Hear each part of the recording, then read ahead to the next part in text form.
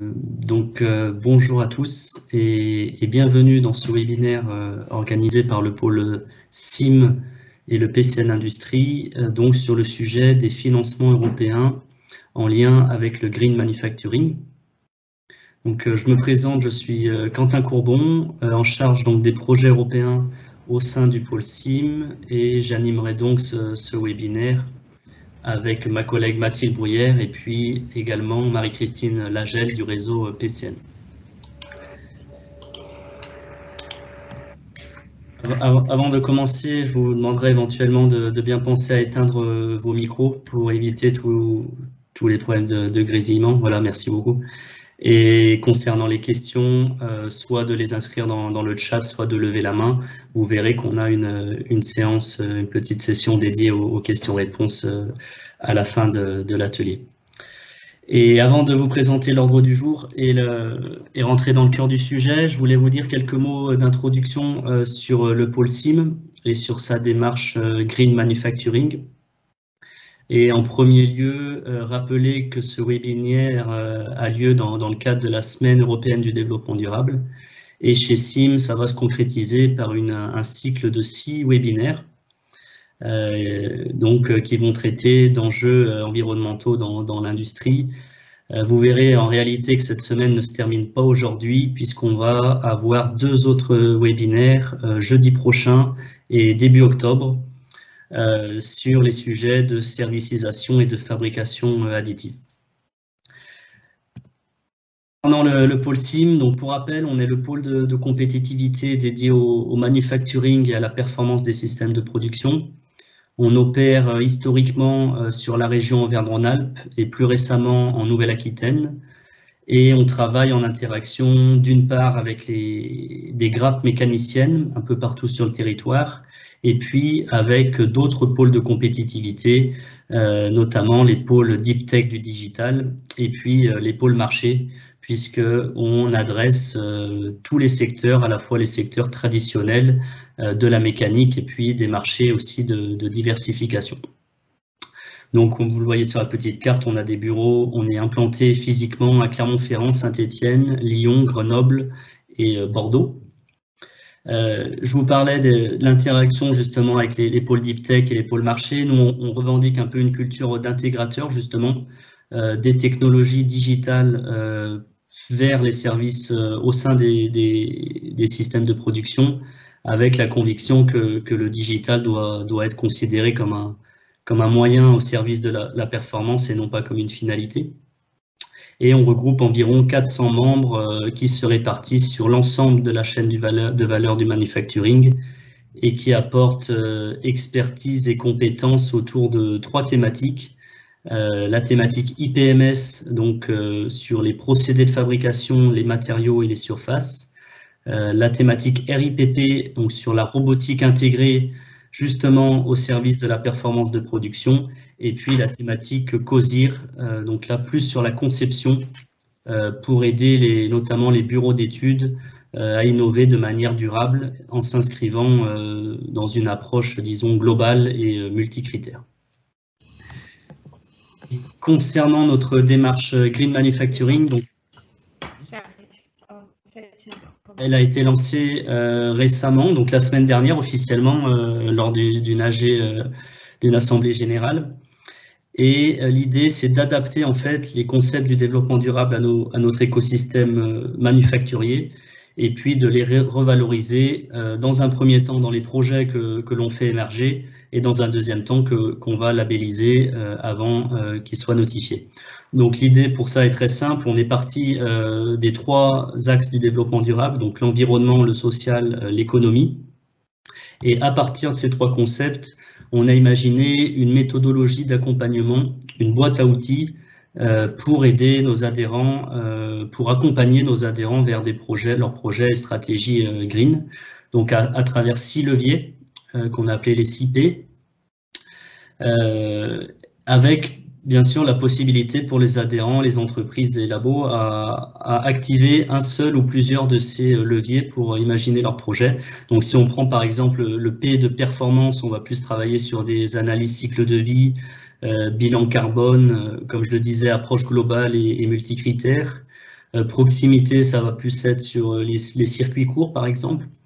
Et puis procédé, on va, on va traiter tout ce qui est frugalité des procédés, coefficience, décarbonation et puis également ACV côté procédé. Donc ça, c'est bien l'étape dans les mains de nos adhérents. Et la dernière étape, c'est plus pour nous, c'est pour labelliser les projets, donc qui est une mission centrale euh, également au sein du pôle. Et donc là, on a euh, remis au goût du jour euh, notre procédure d'évaluation et notamment neuf critères éthiques et environnementaux pour évaluer ces projets. Donc une labellisation un peu plus exigeante que par le passé et à l'issue de laquelle on remet maintenant dorénavant un trophée distinctif pour les projets, disons, exemplaires qui vont remplir 75% des, points dédiés à, ces neuf critères qui eux-mêmes, tout réunis, vont, constituer un tiers de la note. Donc c'est quand même euh, quelque chose de, relativement important euh, dorénavant. Donc voilà pour les petits mots introductifs. Euh, maintenant, plongeons-nous dans, le cœur du, sujet. Donc on a un programme assez chargé aujourd'hui. tout d'abord, je vais vous parler un peu du, Green Deal et de son influence sur l'industrie via les, programmes européens de recherche et d'innovation. Ensuite, on verra un exemple et surtout les, résultats euh, d'un appel à projet euh, spécifique Green Deal qui avait été lancé à la fin d'Horizon 2020. Ensuite, on se plongera plus vraiment dans Horizon Europe, dans le détail. On étudiera des enjeux green et des appels à projets particuliers qui vont avoir lieu cette année et l'année prochaine donc euh, avec Mathilde, et puis on aura un témoignage euh, d'une participation à un projet H2020, donc avec Franck Kleissen de, l'entreprise Cedra Technologies. On fera une petite session de questions-réponses et en, conclusion, on vous rappellera un peu l'offre de service à la fois du pôle et du PCN euh, pour vous aider à vous inscrire dans tous ces projets Horizon Europe. Et tout d'abord, du coup, quelques mots sur le Green Deal. Donc, qu'est-ce que le Green Deal? Euh, Donc, en français, Pacte vert euh, pour l'Europe. Euh, c'est tout simplement en fait la politique, la, feuille de route environnementale de la nouvelle Commission européenne, donc lancée en 2019 par la nouvelle présidente Ursula von der Leyen. Et le but primordial, disons, c'est de rendre l'Europe climatiquement neutre en 2050. Et pour ce faire, pour y arriver, euh, un objectif phare, un objectif précis qui est de réduire les émissions de gaz à effet de serre de 55% euh, d'ici 2030 par rapport à leur niveau de, 1990.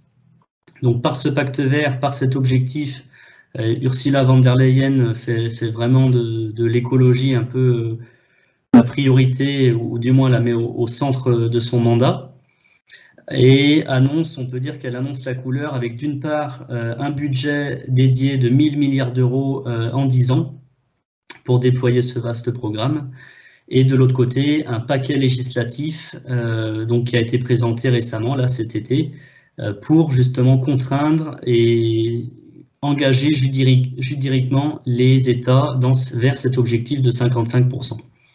Donc voilà, c'est euh, encore une fois l'expression un peu législative du Green Deal pour, euh, pour mettre en œuvre concrètement ce, vaste programme.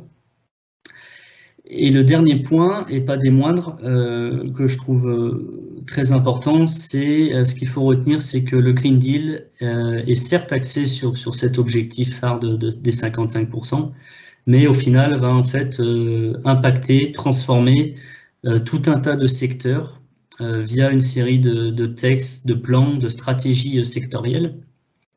Donc c'est ce que vous voyez à la droite, euh, à la droite de l'écran. on va avoir une stratégie pour l'agriculture, pour le transport, la mobilité, pour l'énergie, et puis ce qui nous intéresse aujourd'hui, pour l'industrie. Et concernant l'industrie, comme vous pouvez vous en douter, en fait, la stratégie va être basée principalement sur la recherche et l'innovation, via ce, grand programme euh, qui est euh, Horizon Europe. Et c'est justement le, but euh, de ce webinaire, c'est comprendre déjà comment ça impacte l'industrie via Horizon Europe et comment en fait le Green Deal va se traduire concrètement dans les différents appels à projets d'Horizon Europe. Horizon Europe, pour les, plus novices euh, d'entre nous, pour rappel, c'est le, programme cadre donc, de l'Union européenne qui vise justement à financer la recherche et l'innovation. C'est ce qui fait suite à H2020, Horizon 2020, euh, et donc pour les, euh, qui prendra effet pour les six prochaines années jusqu'en 2027, avec là aussi un, budget assez conséquent de, de, près de 100 milliards d'euros. Euh, donc là, ce qu'il faut retenir, c'est qu'il y a vraiment beaucoup, beaucoup euh, d'opportunités à aller chercher à l'Europe. Et ces opportunités sont euh, pas tout le temps suffisamment prises par, les entreprises et, les laboratoires français, alors même que quand on candidate, on est plutôt bon en la matière. Donc ça, c'est un peu notre boulot à nous, pôle de compétitivité PCN, de démystifier tout ça, vous expliciter euh, comment tout cela fonctionne et vous donner les moyens surtout pour euh, vous aider à vous insérer vous aussi dans des, dans des projets d'innovation et aller capter votre, votre part de, financement. Une, structuration en, en, trois piliers. pilier 1, plus destiné aux académiques, aux chercheurs. Euh, souvent sous forme de, de bourse individuelle, comme c'est le cas dans, le Conseil européen de la recherche, le RC. Euh, les PME sont pour autant pas exclus de ce pilier puisque leur participation est, notamment encouragée dans, le cadre des, actions Marie Curie. Mais on reste sur des appels à projets, euh, des thématiques blanches à ce stade. Euh, contrairement au pilier 2, le, un peu le pilier central d'Horizon de, Europe, où là, on va être sur des appels à projets euh, collaboratifs et surtout thématiques, donc répartis en, en programmes de travail, en clusters. Donc, vous avez six clusters, cluster 1 santé, cluster 2 culture, cluster 3 sur la sécurité civile, etc. Donc là, on est vraiment sur euh, des appels à projets interdisciplinaires et, et encore une fois collaboratifs. Et le pilier 3 euh, va plus mettre l'accent sur l'innovation et les PME, donc des appels à projets plus proches du marché euh, essentiellement. Et c'est là qu'on va retrouver également un, programme phare qui est l'EIC, le Conseil européen de l'innovation, euh, connu notamment sous sa variante accélérateur, donc ex-instrument PME pour, pour ceux qui connaîtraient. Ce qu'il faut retenir de cette slide, c'est que euh, avant d'une part, avant même la mise en place concrète de cette structuration, euh, la Commission européenne en fait avait lancé euh, fin 2020 un programme spécifique Green Deal sous H2020 qui visait un peu à asseoir justement la, nouvelle politique éponyme Green Deal de, de Ursula von der Leyen avant finalement, euh, sous Horizon Europe, mettre en place ces trois piliers et répartir, diffuser les enjeux green un peu de partout euh, à l'ensemble du programme et donc aux trois piliers. Et aujourd'hui, en fait, tous les programmes de travail euh, sous l'égide, sont sous l'égide du Green Deal, de la politique Green Deal, et tous les topics vont faire ressortir un peu ces enjeux-là notamment, et c'est ce qu'on vous a euh, entouré en vert et ce que Mathilde vous précisera un peu tout à l'heure, euh, notamment euh, les clusters 4, 5 et 6 du pilier 2, et également dans pilier 1, Action Marie Curie, où on peut tout à fait présenter des projets green, puisque ce sont encore une fois des appels à projets blancs en termes de thématiques, et le Conseil européen de l'innovation, on aura notamment dans l'EIC des cut-off spéciales également Green Deal. Mais ça, Mathilde y reviendra. Également Marie-Christine qui vous présentera les résultats de, cet appel, donc un peu précurseur, expérimental dont, je viens de vous parler.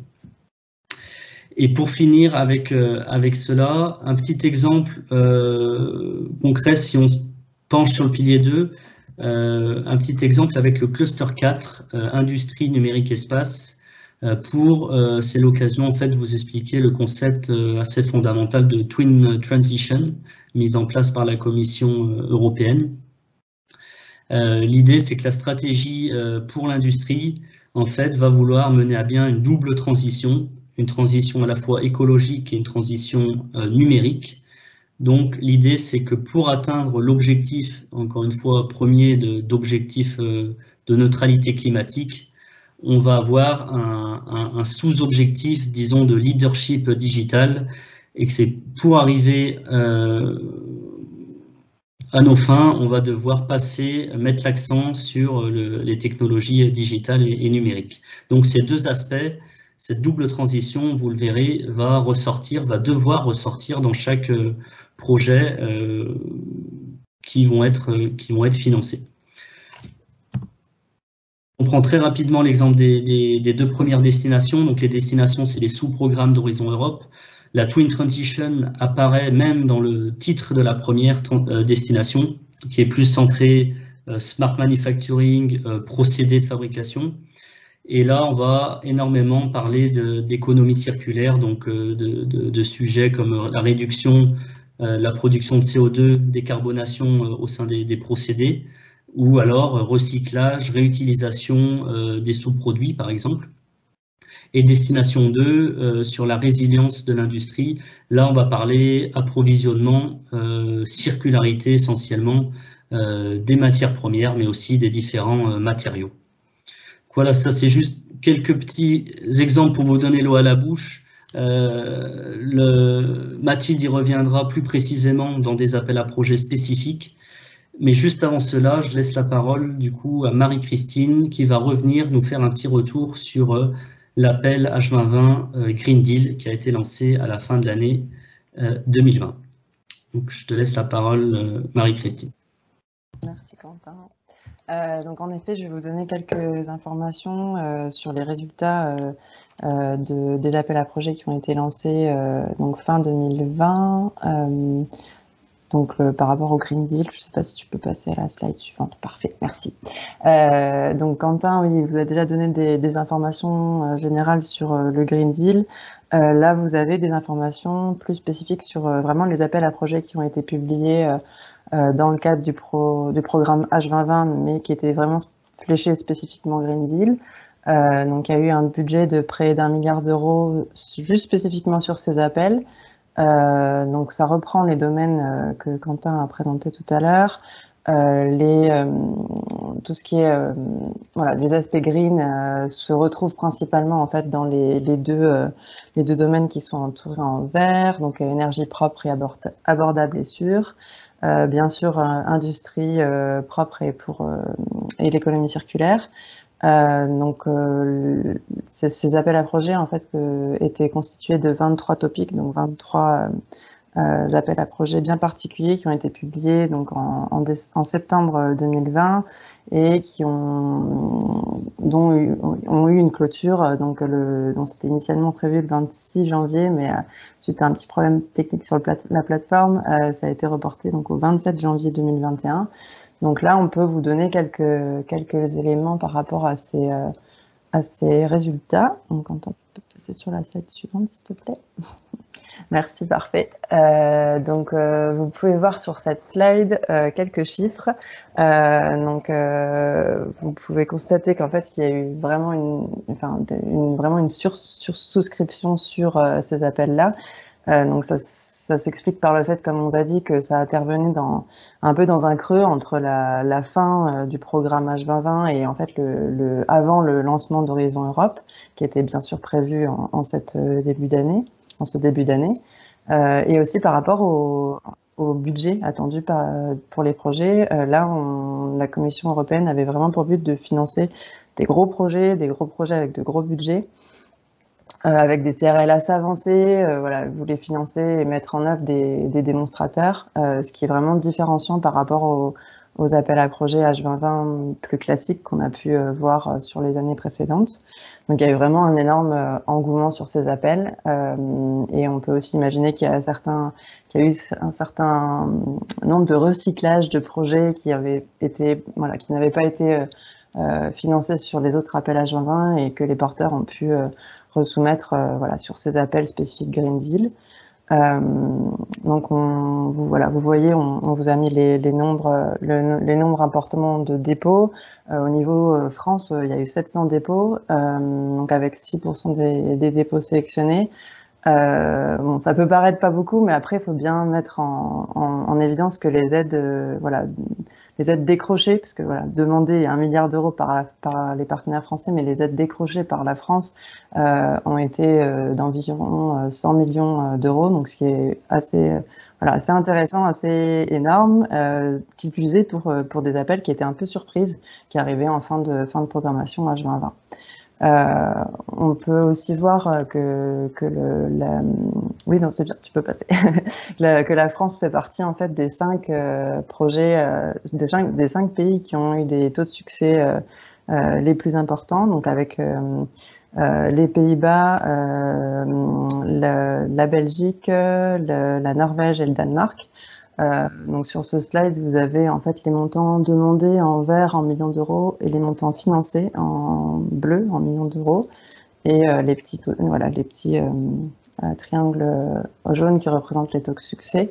en fait, c'est vraiment, ça, vous montre vraiment que la, France a vraiment eu, euh, enfin vraiment extrêmement, enfin a vraiment réussi par rapport à ces appels à projets euh, Green Deal parce que là on, est vraiment, enfin on est troisième en, financement obtenu euh, et en fait c'est vraiment mieux par rapport aux, aux autres appels à projets H2020 précédents.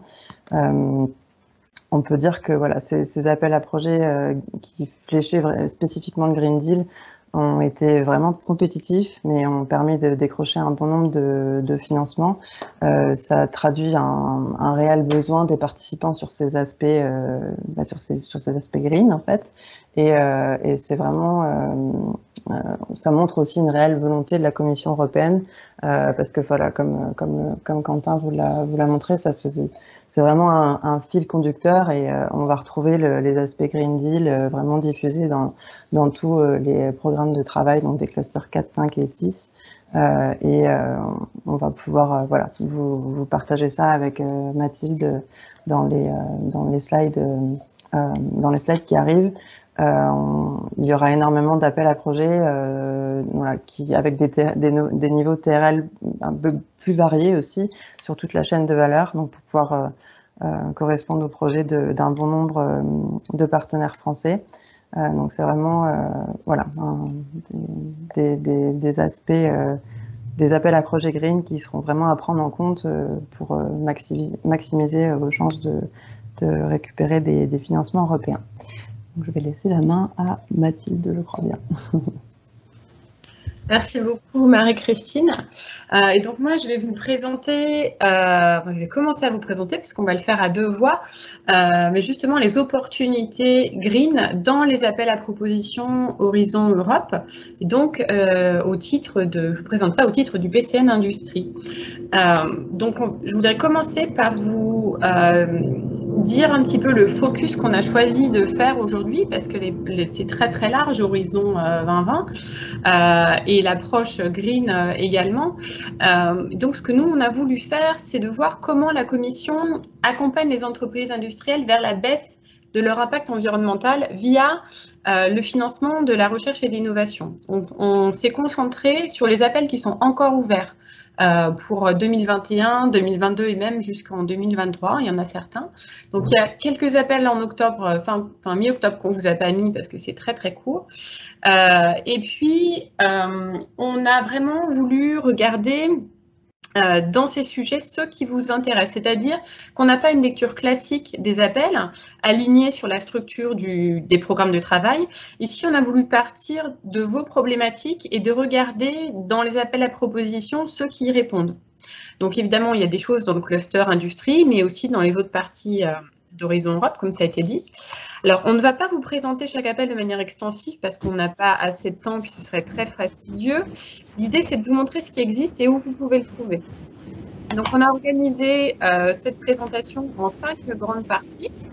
Euh, les ressources et matières premières, la frugalité des procédés, l'économie circulaire, les cycles de vie, matériaux et produits, et puis euh, un aspect transversal sur les soutiens aux PME. Vous voyez ici qu'en fait, on a choisi délibérément de centrer sur les aspects écologiques euh, du développement durable. Alors, excusez-moi, il y a un bruit de fond qui va venir de quelqu'un. Fais tous les micros, merci. Merci beaucoup. Euh, voilà, donc on se concentre vraiment sur l'aspect écologique euh, du, développement durable. Mais il faut savoir que quand même les aspects socio-économiques se retrouvent dans d'autres parties euh, d'Horizon 2020 et notamment, bah, pardon, d'Horizon Europe et notamment dans le cluster 4 avec par exemple l'humain dans l'entreprise qui est abordé en filigrane dans de très très nombreux appels avec des aspects SHS notamment. Et puis, bien sûr, euh, tout ce qui est bien fait des résultats des projets pour euh, la société et pour la compétitivité européenne. Enfin, je voulais vous dire que euh, on a adressé ici globalement les sujets manufacturing génériques à l'industrie, mais il faut savoir que vous trouverez des sujets qui traitent de problématiques spécifiques à certaines filières dans d'autres clusters. Donc, par exemple, euh, dans le cluster 5 euh, énergie, vous allez trouver tout ce qui tourne autour de la production de batteries, énergie solaire éolienne euh, ou hydroélectrique. sur le cluster 6, vous trouverez des aspects agroalimentaires et puis l'industrie de la sylviculture, des aspects purement extraction minière dans le cluster 4, et puis tout ce qui va être aussi transport pour, euh, pour ce green manufacturing, donc euh, euh, sur les flux logistiques qui arrivent vers l'usine et ceux qui en, qui en repartent et qui assurent la livraison, eh bien on a des choses dans le cluster 5 sur la partie transport. Voilà. Alors, si ces sujets-là vous intéressent, ceux qu'on n'aborde pas aujourd'hui, bien évidemment, vous pouvez contacter les PCN concernés et ils seront là pour, pour vous aider. Voilà, donc allons-y. Euh, sur la slide suivante, merci. Donc Quentin vous a montré les parties euh, où on va retrouver des sujets euh, green. Nous, on va se concentrer maintenant sur la slide suivante, s'il te plaît, sur vraiment ce qui est prescriptif où on mentionne clairement le, le, green et donc dans les clusters industrie et numérique, énergie et mobilité et puis un sujet qui vient du dernier cluster alimentation, bioéconomie, ressources naturelles, agriculture et environnement.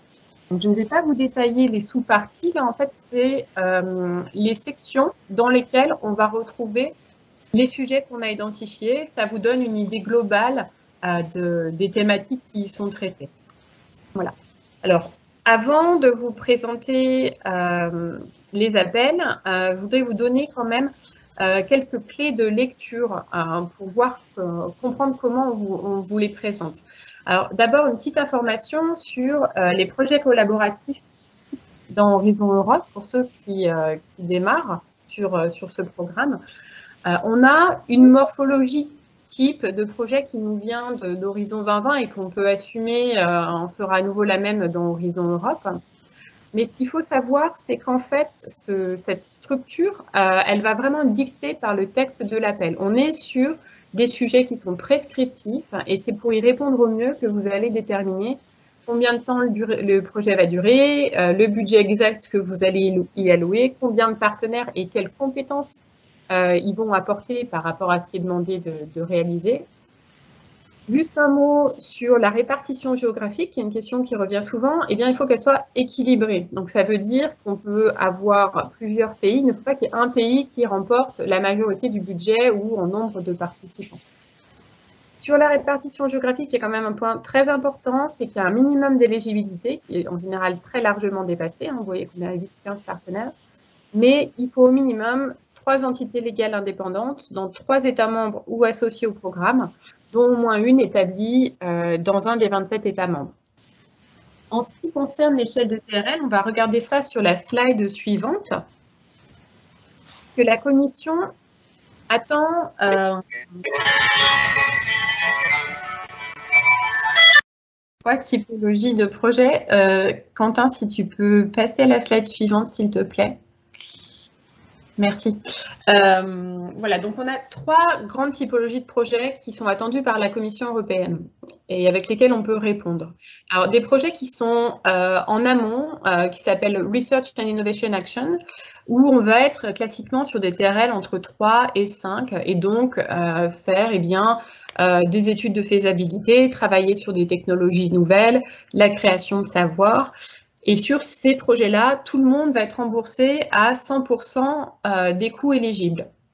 Ensuite, on va avoir des projets qui vont être plus en aval euh, sur la chaîne de valeur avec euh, des TRL globalement entre 5 et 7 et puis des actions qui vont porter un peu plus sur la production de plans, le design pour produit, les services nouveaux et modifiés, etc.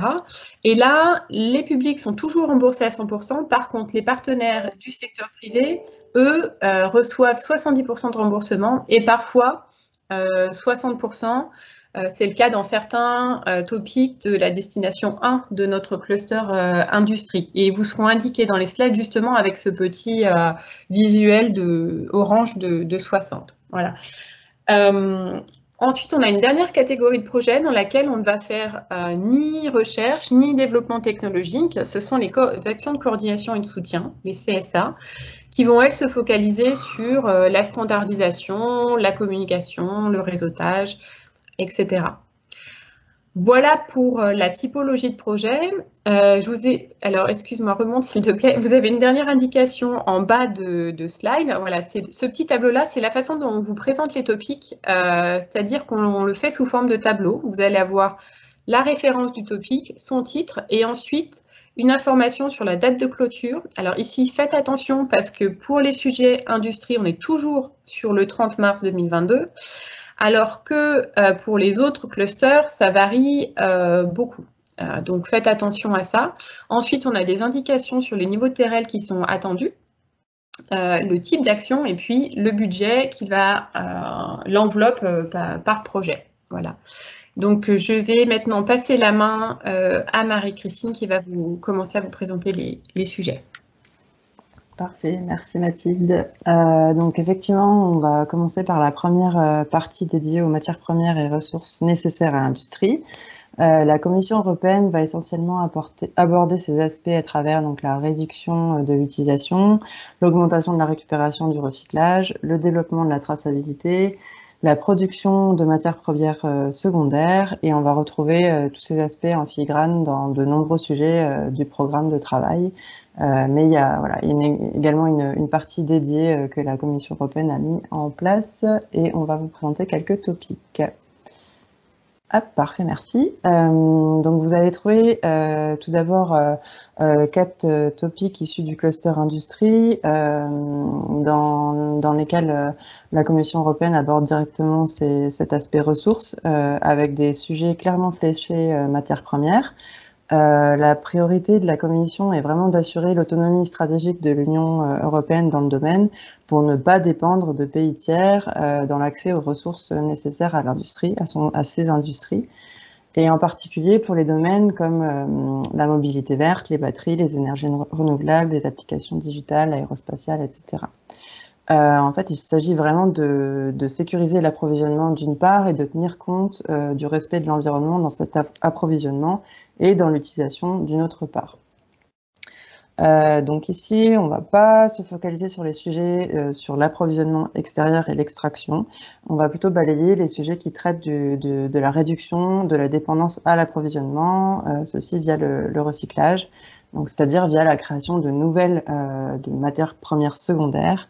Et ainsi, les, matériaux qui proviennent du recyclage de déchets peuvent remplacer l'utilisation de matières premières vierges primaires. Euh, donc voilà, c'est vraiment le, but est vraiment d'augmenter la création de matières premières secondaires et de fiabiliser leur utilisation. Euh, donc vous avez quatre sujets comme je vous l'ai dit. Euh, donc je vais vous balayer un peu, un peu chaque topic. Donc dans le premier topic, vous allez, enfin les, projets attendus par la Commission européenne sont, vont permettre de mettre en place et d'améliorer la transparence et la traçabilité des données de la chaîne d'approvisionnement. Euh, cela permettra aux consommateurs, aux producteurs en, aval d'avoir des informations sur l'origine des métaux euh, dans les produits finis. Euh, ainsi de développer également des solutions technologiques de suivi des flux de matières premières et secondaires, comme des passeports matières, et aussi d'élaborer des critères, des rapports, des méthodes d'audit comparables. Euh, le but est de mettre en place une coopération aussi renforcée entre les entreprises en amont et en aval de la chaîne d'approvisionnement. Le second topic euh, traite euh, des nouvelles technologies et des nouveaux procédés durables de traitement des minerais et ou de métallurgie qui sont économes en énergie, en matériaux et en coûts. Euh, donc en fait, ceci a vraiment pour but d'augmenter euh, la sélectivité et les taux de récupération euh, des sous-produits de valeur dans les industries. les, des consortiums pour ces, projets et propositions sont attendus. ils doivent être vraiment multidisciplinaires et axés sur les industries et les utilisateurs, tout en couvrant la chaîne de valeur, donc la chaîne de valeur pertinente et les secteurs stratégiques. Ceci afin de développer des solutions systémiques et de faciliter l'adoption par le marché. Euh, bien sûr en abordant les aspects normalisation. Le quatrième euh, topic euh, traite de, la création de systèmes d'information transparents qui garantit la circularité des chaînes de valeur avec le recyclage des déchets qui deviennent des matières secondaires, que ce soit en boucle fermée ou en réutilisation sur d'autres industries. Les projets devront proposer de nouvelles solutions pour une meilleure, une meilleure utilisation des matières euh, secondaire. Euh, on attend aussi, euh, la Commission attend également des, des méthodologies pour le traçage numérique et les certifications des matières premières secondaires. Bien sûr, un, accès facile aux données via de l'open source est, est, est, vraiment attendu. Et enfin, euh, le but est de développer des moyens et des outils pour, euh, indiquer la composition et l'origine des matériaux recyclés, comme par exemple un code barre, euh, en indiquant la composition, voilà, vraiment, et l'origine pour, pour que, que tous les acteurs de la chaîne de valeur aient vraiment toutes les informations. Enfin, dernier topic, donc vous retrouvez la petite pastille 60% hein, pour le, financement des partenaires euh, privés. Euh, donc ce dernier topic, euh, là-dessus, la Commission attend des plus petits projets sur la préparation des matières premières pour la production d'acier propre. ils devront mettre en place des tests de validation de technologies pour l'amélioration, l'utilisation et la valorisation de minerais de fer de faible qualité. Également, identifier des meilleures technologies disponibles et applicables pour euh, la réduction des impuretés et des déchets dans les déchets post-consommation. Et enfin, le développement de technologies pour la valorisation des flux de ferraille de faible qualité. Euh, à noter, voilà, je voulais, voilà, bien spécifier. Je voulais, on va pas vous le redire euh, dans les, les, les slides suivants, mais voilà, euh, et bien en tête que certains topics euh, euh, proposent des financements de 60% pour les, partenaires privés. donc on va pouvoir passer au deuxième focus sur les aspects green du manufacturing. donc ça va porter sur la frugalité des procédés. par cela, la Commission européenne attend globalement que l'usine de, de l'Europe, les usines présentes en Europe soient efficientes euh, avec euh, via les, leurs aspects énergétiques, donc une efficacité d'une part, mais aussi euh, l'intégration des, énergies renouvelables et une circularité, via des procédés et coefficients, et bien sûr la réduction des déchets, des, déchets et des émissions de CO2 lors de ces, la mise en œuvre de ces industries. donc pour cela, euh, les, parmi ces, sujets, qui traitent de la, frugalité des procédés, on va tout d'abord avoir une série de topics euh, sur l'amélioration de l'efficacité énergétique, euh, l'intégration des énergies, renouvelables et l'électrification. Euh, donc vous avez deux tableaux ici. Euh, le premier tableau concerne euh, les, les, topics qu'on vous a sélectionnés du cluster 4, donc sur les thèmes industrie et numérique. Euh, donc sur le premier topic de ce petit tableau, euh, euh, ce topic attendra des, projets de recherche amont pour lesquels une coopération internationale, en particulier avec le Japon, est souhaitée. le but est vraiment d'intégrer efficacement de l'électricité renouvelable pour alimenter les processus de conversion et ainsi de réduire euh, significativement euh, les émissions de CO2 de l'ensemble euh, du processus et bien sûr de faire des économies d'énergie et de matériaux par rapport aux voies de production plus classiques.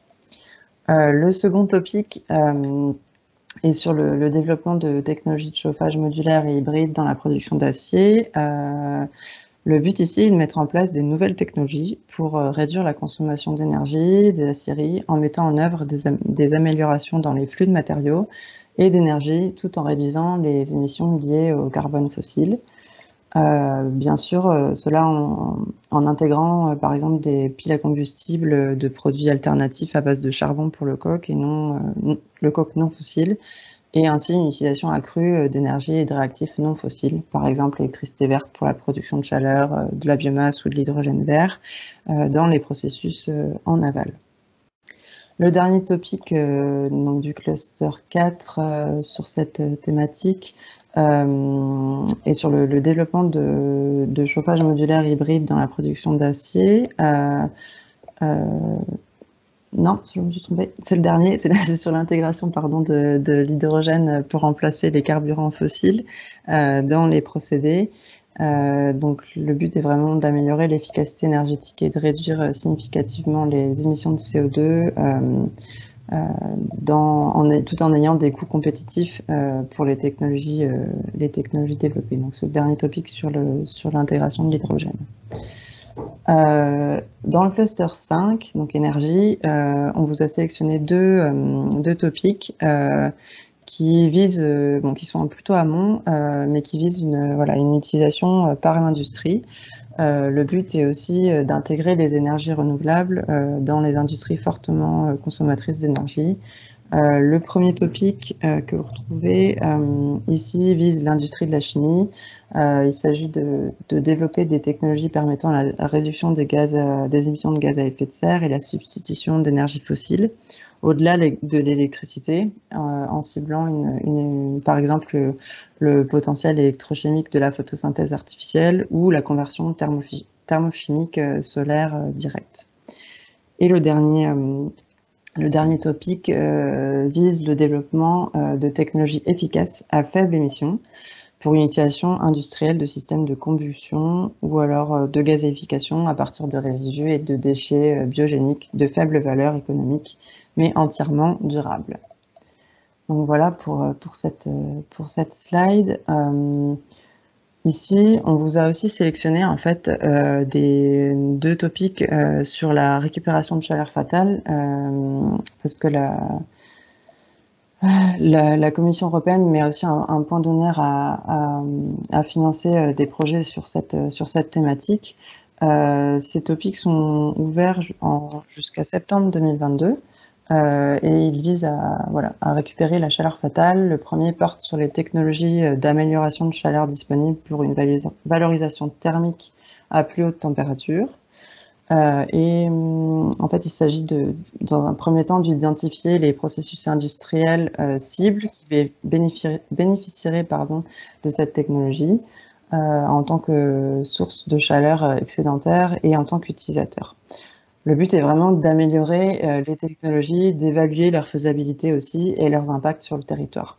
Euh, la Commission européenne attend euh, la mise en œuvre de démonstrations d'au moins un système à échelle pilote similaire en fait à l'environnement industriel réel et bien sûr intéressant et souhaité d'intégrer des sources de chaleur renouvelables. Le second topic euh, vise à découpler la production de chaleur euh, de l'utilisation de chaleur dans les procédés industriels continus ou discontinus, de permettre des échanges thermiques entre les différents procédés industriels et donc une symbiose industrielle, euh, et encore de générer de, de, la chaleur par exemple pendant les heures creuses afin de fournir une flexibilité euh, de la demande d'énergie en développement des nouvelles euh, conceptions pour le stockage à haute température de la chaleur industrielle ou en développement de nouveaux matériaux. Et ceci, voilà, la Commission attend vraiment une, intégration et une démonstration euh, du, système à l'échelle du laboratoire lors des projets. sur la slide suivante, on va pouvoir passer au, un, topic que vous voulez vous mettre sur euh, l'industrie euh, euh, numérique. alors du coup, celle-là, je crois que c'est Mathilde, hein, parce que je crois que je ne l'ai pas. Mathilde, c'était toi qui prenais celui-là? Bah, je peux reprendre la main. alors, c'est sur, toujours sur la, frugalité des procédés. Ici, c'est un topic sur la, la, réduction significative des émissions industrielles dans les flux de déchets. Et euh, pour ça, on va développer des matériaux membranaires et des membranes de nouvelle génération.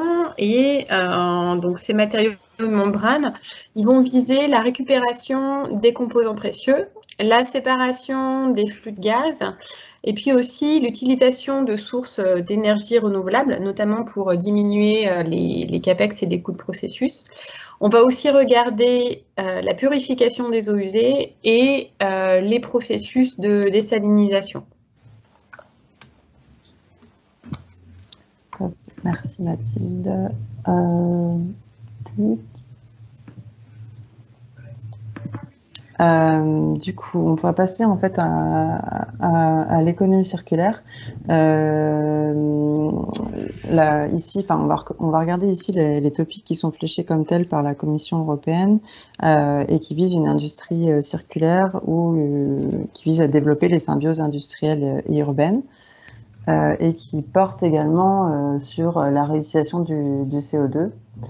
Euh, on va pouvoir d'abord trouver deux topics donc du cluster 4 qui vont traiter de l'économie circulaire où le but est vraiment de mettre en place des concepts, de mettre en œuvre des bonnes pratiques.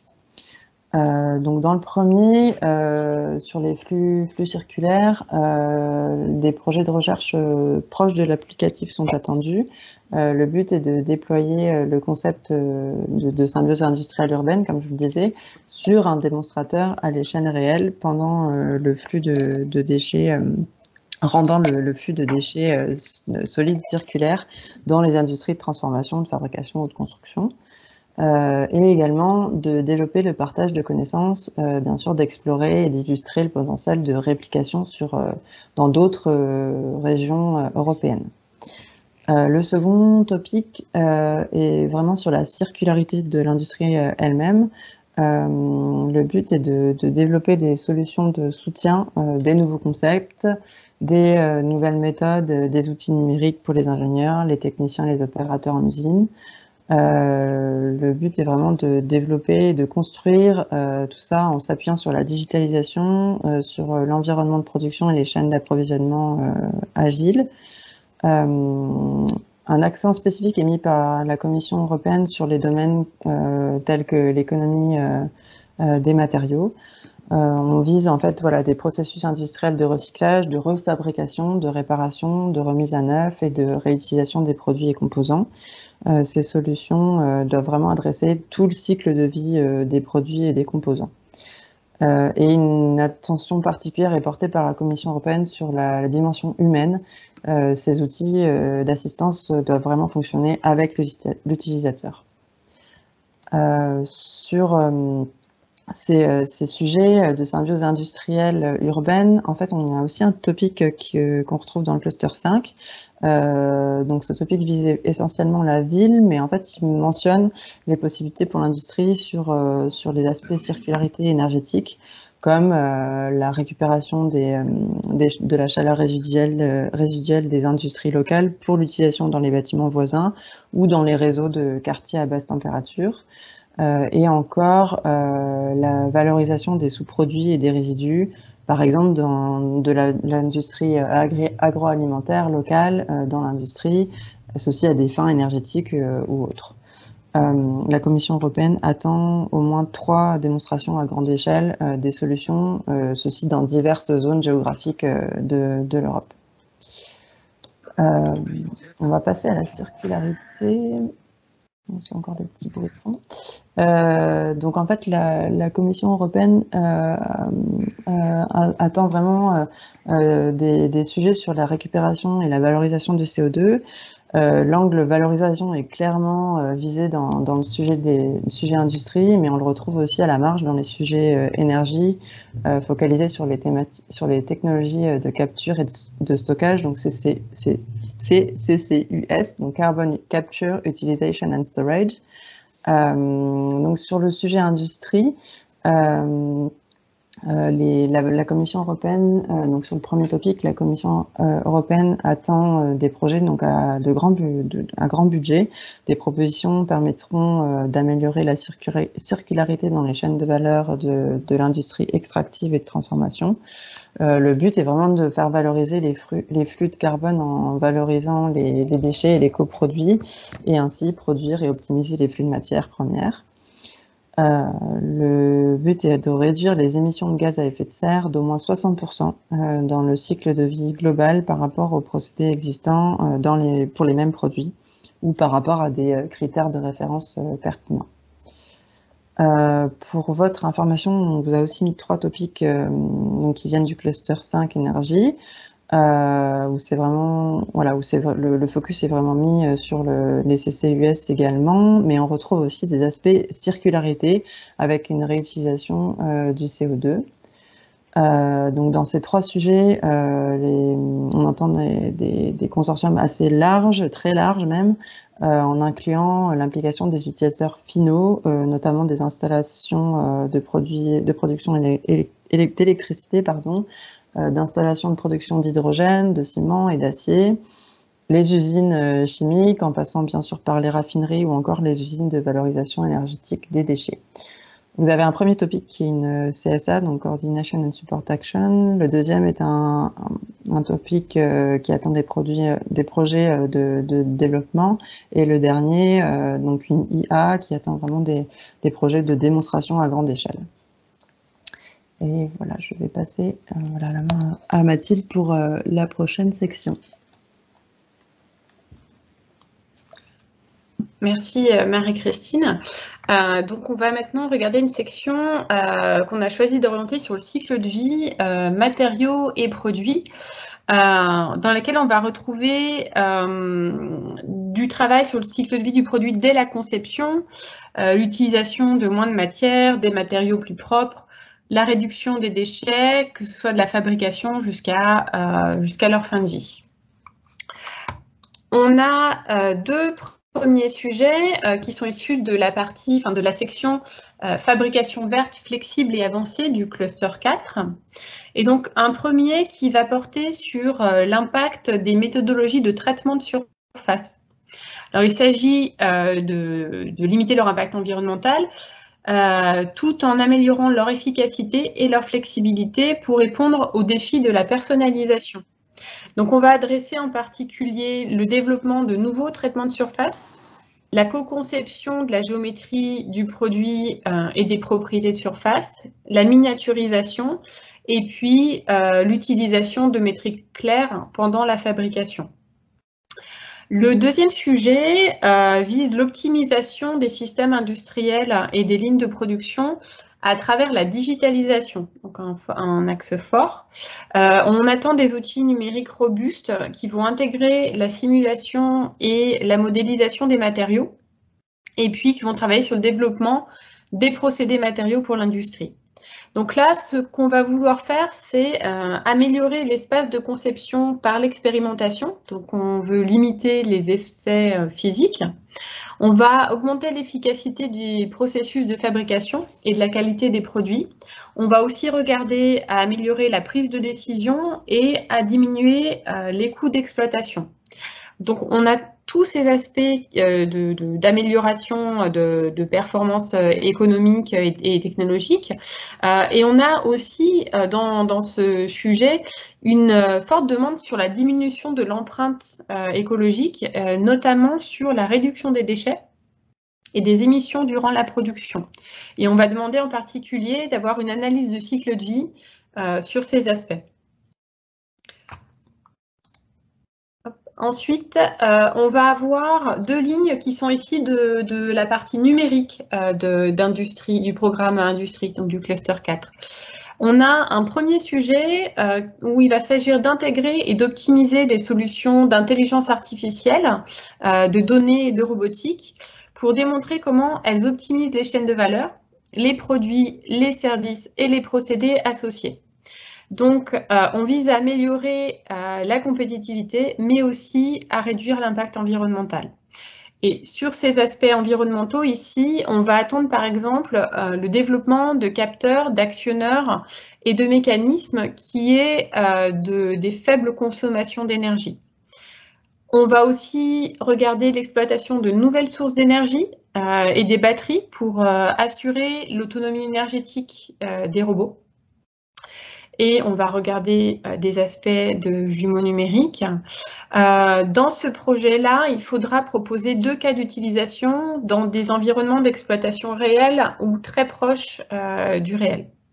On a deux types de projets qui sont attendus sur euh, ce euh, Digital Emerging 1.5. Euh, d'abord, des gros projets ciblés entre techno-providers et end-users. Et puis des projets où on va avoir des consortiums d'entreprises qui vont mettre en place des appels à propositions pour de, plus petites, de plus petites entreprises fournisseurs de, solutions numériques.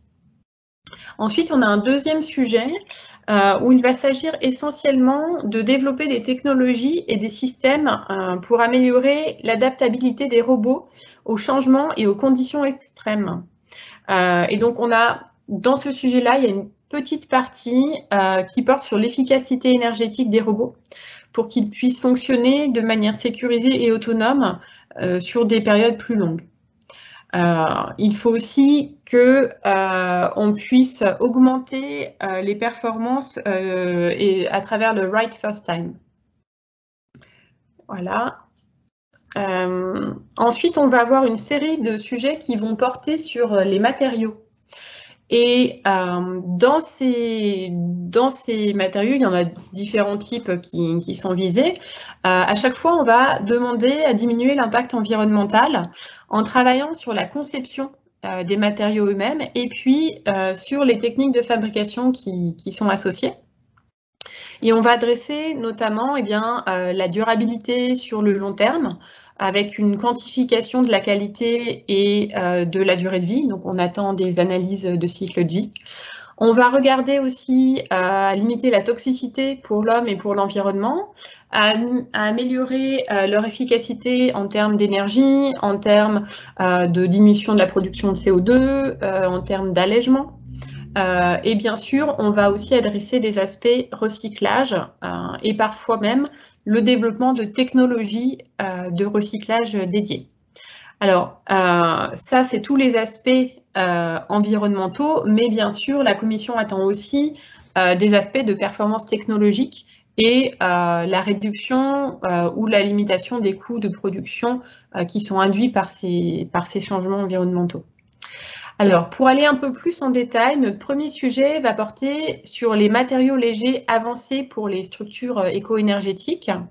donc ici, on parle de composites euh, qui doivent être légers, donc on a une réduction du poids de 30%, et durables. Euh, par ça, on entend dans leur composition avec au moins 50% de matériaux durables et biosourcés.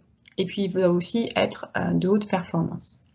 Ensuite, sur notre sujet 2, euh, on s'adresse aux composants et structures euh, multimatériaux fonctionnels euh, qui doivent en fait améliorer le design et la fabrication de structures légères qui vont utiliser donc ces, ces multimatériaux.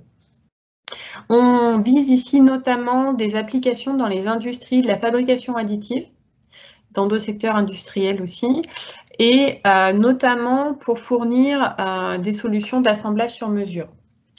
Le troisième sujet, lui, va porter sur les revêtements organiques euh, hybrides sûrs et durables, où on va euh, regarder le développement de nouveaux matériaux innovants qui sont exempts de PFAS, euh, dont les matériaux biosourcés.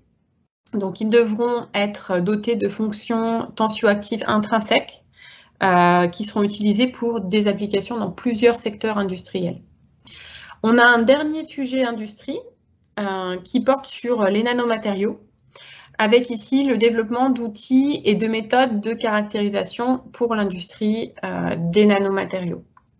Et enfin, on va terminer cette slide avec un sujet qui nous vient donc du cluster 6 sur euh, alimentation, bioéconomie, ressources naturelles, agriculture et environnement, qui porte lui sur les nouveaux plastiques biodégradables, biosourcés et durables, et donc plus précisément sur euh, les innovations pour leur durabilité et les options euh, de fin de vie. Alors ce sujet-là, contrairement à tout ce qu'on vous a présenté et qu'on va encore vous présenter, il se fait en deux étapes. Euh, voilà, donc une étape un peu plus légère en février prochain. Et donc, encore deux sujets autour des matériaux. Le numéro 19, euh, où on aborde la conception et les étapes de développement des matériaux et de produits avancés, ici via les outils de caractérisation, de modélisation et de simulation. C'est vraiment l'entrée. Euh, et on va se concentrer sur des cas d'utilisateurs euh, qui sont liés aux applications à faible émission de carbone et à l'industrie durable. Donc on avait ces sujets-là euh, très régulièrement dans les, programmes précédents. Là, on a vraiment un gros focus euh, environnement pour, pour ce topic modélisation caractérisation. Donc, on va aussi regarder là-dedans tout ce qui est ontologie, traçabilité, intégrité et interopérabilité des données. Le dernier sujet matériaux qu'on vous présente euh, porte sur un OITB, donc c'est la création d'un OITB euh, qui est centré sur les technologies des matériaux innovants, circulaires et neutres pour le climat. Donc qu'est-ce que ça veut dire? Euh, Eh bien en fait un OITB c'est une plateforme, c'est un ensemble d'entités qui vont fournir un accès commun à des installations physiques et puis euh, à l'expertise, aux compétences et aux services qui vont avec ces installations et qui donc vont être euh, offertes, enfin mises à disposition euh, des PME pour que celles-ci puissent venir tester développer et regarder la mise à l'échelle des technologies avancées dans des environnements industriels avant de les mettre en œuvre chez elles. Voilà pour les matériaux. Et ensuite, on a euh, une dernière partie qu'on a voulu dédier euh, au soutien à la transition des PME.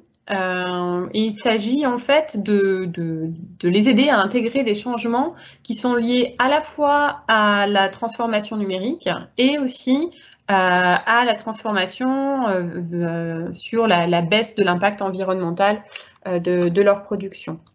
Donc, on vous a indiqué deux sujets. Euh, qui vont venir. Merci. Donc, ils sont issus du cluster 4, industrie numérique, euh, où en fait, euh, on va avoir des structures, une partie du, du financement qui va être dédiée à la mise en place de soutien aux PME manufacturières par des structures qui vont leur apporter des conseils, des recommandations, euh, des services et un appui technique. Ça, c'est l'utilisation du budget d'une part. Et d'autre part, euh, on va attendre euh, un soutien financier direct aux PME donc par le biais d'appels à propositions, afin de mettre en œuvre les recommandations qu'ils auront reçues avant. Donc c'est ce qu'on appelle du cascade funding.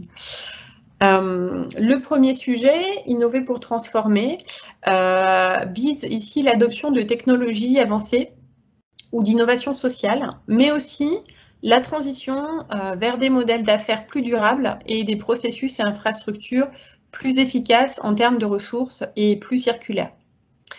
Le deuxième sujet, lui, vise l'adoption de technologies digitales via des expérimentations et des tests. Et sur ces technologies, on va donner la priorité à celles qui améliorent la durabilité. Et on parle notamment bah, de réduction des déchets, énergie, empreinte carbone. On va aussi, bien sûr, regarder euh, l'agilité, la résilience et l'attractivité du manufacturing. Alors, pour ce projet-là, on a trois secteurs qui sont euh, visés. Euh, l'intelligence artificielle appliquée au manufacturing, la cybersécurité et l'Internet des objets, et puis la robotique collaborative. Alors, je vous ai aussi mis euh, un lien euh, vers un webinaire de présentation de l'EIC Accélérateur, puisque Quentin vous a indiqué qu'il y avait des sujets spécifiques PME euh, dans une partie d'Horizon Europe. vous pouvez inclure vos problématiques green dedans et donc on ne vous présente pas ça parce que c'est un programme à part qui demande du temps, mais vous l'avez dans, dans, ce webinaire de présentation. Euh, et donc, euh, Quentin va reprendre la main pour la dernière partie. Yes, merci Mathilde. Euh, donc après ce, beau témoignage d'expérience à l'Europe, on voulait finir en conclusion sur quelques clés pour vous faire accompagner vers, vers, des, vers des projets européens, que ce soit par le pôle SIM ou par le réseau PCN.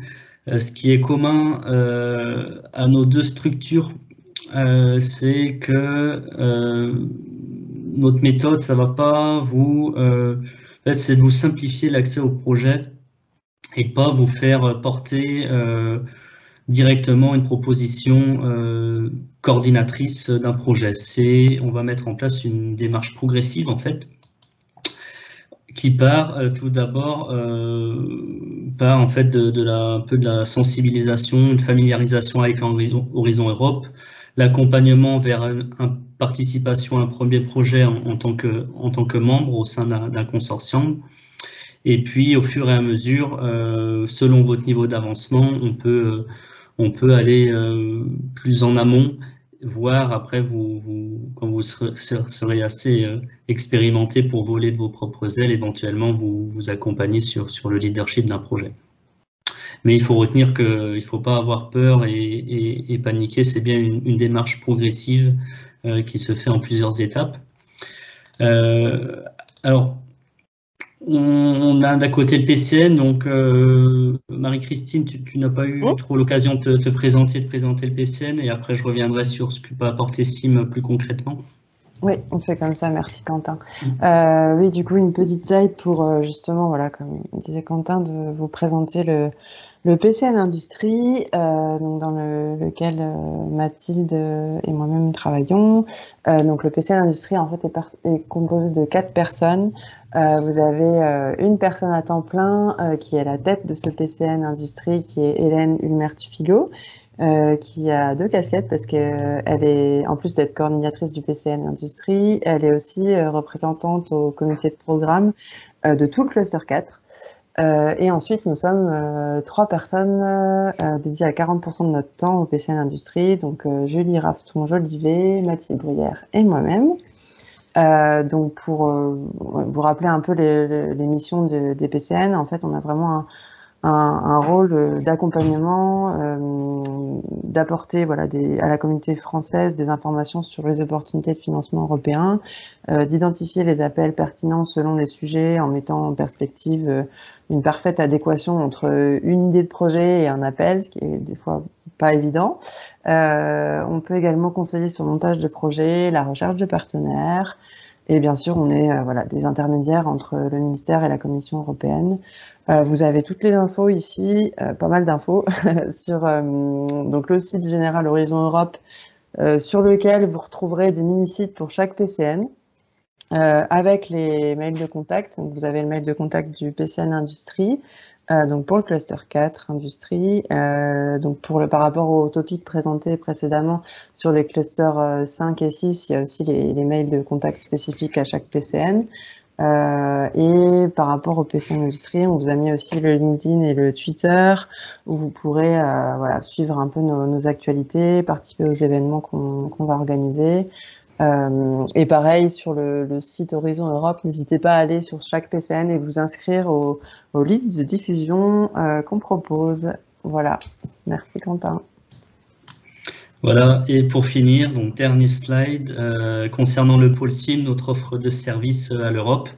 Alors elle est, assez simple, elle va donc de l'information sur les projets européens, donc à travers diverses manifestations, euh, webinaires euh, collectifs du pôle, ben, comme aujourd'hui par exemple, mais comme beaucoup d'autres, euh, pour vous aider justement à décrypter comment fonctionne Horizon Europe et comment s'imbriquent tous les différents guichets. Et ça va jusqu'au à l'aide au montage carrément d'une proposition et au suivi de vos projets. Donc ça, c'est l'étape ultime.